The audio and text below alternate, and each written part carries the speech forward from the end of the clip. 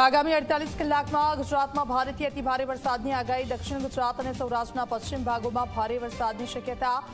આગાહીકાર અંબાલાલ પટેલે વરસાદની કરી આગાહી. રાજ્યમાં આજે છ કલાકમાં બેતાળીસ તાલુકામાં વરસાદ. નવસારી, જલાલપુર અને ચીખલીમાં સૌથી વધુ બે ઇંચ વરસાદ વરસ્યો. તો સુરતના મહુવામાં દોઢ ઇંચ વરસાદ.